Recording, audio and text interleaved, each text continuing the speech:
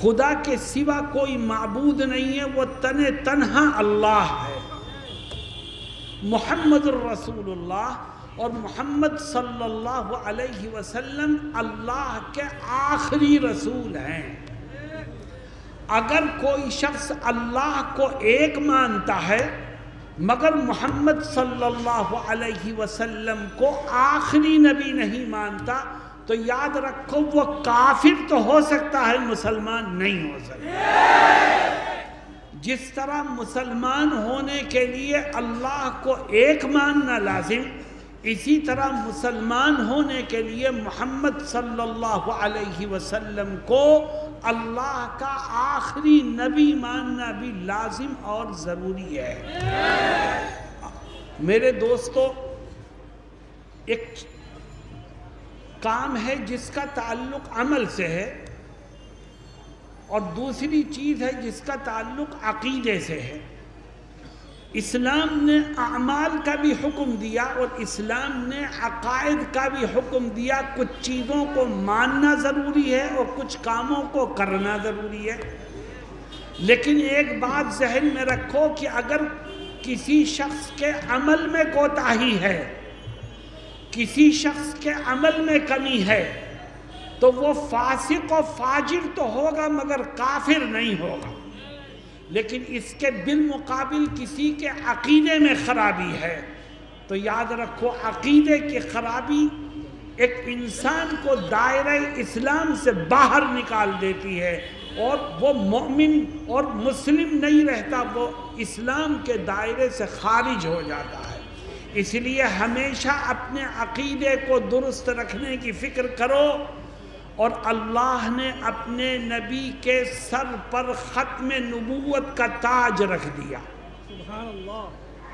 اور اللہ نے اعلان کر دیا ما كان محمد ابا احد من رجالكم ولكن رسول الله وخاتم النبيين اللہ نے ایک تاج رکھا اپنے نبی کے سر پر اور یہ اعلان کر دیا کہ نبوت کا جو سلسلہ چل رہا تھا محمد صلی اللہ علیہ وسلم کے آنے پر، میں نے اس کو ختم کر دیا۔ اب یہ مہر ہیں۔ اب اس سلسلے سے آگے اگر نبوت چلے گی تو صرف محمد صلی اللہ علیہ وسلم کی چلے گی۔ آپ کے علاوہ کسی کی نہیں چلے گی۔ مسلمانوں میں تم سے ایک سوال کرتا ہوں۔ اگر کوئی شخص کھڑا ہو کر تمہارے نبی کے تاج نبوت میں سوراخ کرنا چاہے اور اس کی توہین کرنا چاہے، کیا تم برداشت کر لو گے؟ تم اپنے اندر یہ ہمت پیدا کرو یہ عزم پیدا کرو کہ جو نبی کی شان میں گستاخی کرے گا اور تاج نبوت کو نقصان پہنچانے کی کوشش کرے گا، ہم کھل کر اس کا مقابلہ کریں گے۔ اور اسے کبھی کامیاب نہیں ہونے دیں گے۔ لیکن مقابلہ کیسے کرو گے؟ مقابلہ کرو گے کیسے؟ میرے دوستوں، میں جو بات کہنے جا رہا ہوں اس کو سمجھنے کی کوشش کرو۔ حضرت محمد مصطفیٰ صلی اللہ علیہ وسلم نے اپنی زندگی میں یہ بتا دیا تھا امت کو کہ میرے بعد بہت بہت سے دجال پیدا ہوں گے، بہت سے جھوٹے پیدا ہوں گے۔ جو نبوت کا جھوٹا دعویٰ کریں گے، میری امت کے لوگوں، تم تیار رہنا ان کے مقابلے کے لیے۔ آقا نے اپنی زندگی میں کہہ دیا تھا اور عجیب بات یہ ہے کہ ایک شخص آقا کی زندگی ہی میں پیدا ہو گیا تھا جس نے نبوت کا دعویٰ کر دیا اور صحابہ کرام نے اس کا مقابلہ کیا۔ میرے دوستوں، میں جو کہنا چاہتا ہوں، وہ سنو، جو آقا کی شان میں گستاخی کرے اور آقا کے تاج نبوت کو نقصان پہنچانے کی کوشش کرے، ہمیں اور آپ کو اس کا مقابلہ کرنا ہے۔ اور مقابلہ کیسے کریں گے؟ اپنے دل میں آقا کی محبت کی شمع کو روشن کر کے اس کا مقابلہ کریں گے۔ اللہ کیا کہتا ہے؟ ادعو الى سبیل ربک بالحکمت والموعظت الحسنہ وجادلہم باللتی ہی احسن۔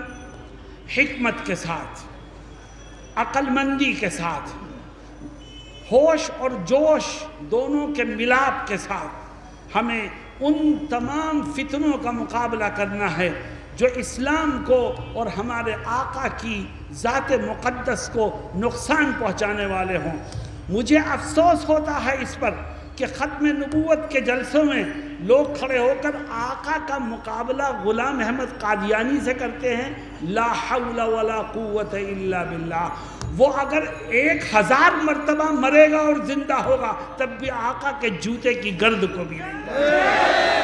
اس لیے میں تذکرہ ہی نہیں کرتا اس کا کہ اس میں کیا تھا۔ آقا میں کیا تھا؟ لوگ بے وقوفی کرتے ہیں۔ آقا کو اس کے مقابلے میں لا کے کھڑا کرتے ہیں۔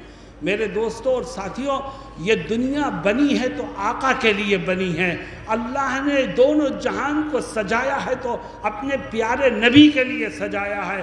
دنیا کو اگر انسانیت کا پیغام ملا ہے تو محمد صلی اللہ علیہ وسلم سے ملا ہے۔ شرافت فخر کرتی ہے تو محمد صلی اللہ علیہ وسلم پر اور آپ ہی کی وہ ذات ہے جس نے دنیا میں انسانوں کو انسان بن کر کے جینے کا سلیقہ سکھایا ہے۔ کون آپ کے مقابلے پر آ سکتا ہے؟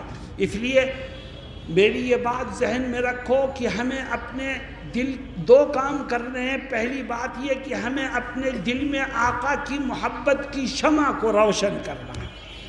صرف زبان سے نعرہ لگانے سے کچھ نہیں ہوتا جب تک دل میں محبت نہیں ہوگی، خدا کے ہاں تمہارے نعرے بھی قبول نہیں ہوں گے۔ اور دوسری بات یہ کہ جو فتنے اس وقت جنم لے رہے ہیں، ہم ان فتنوں کا مقابلہ حکمت سے کریں گے،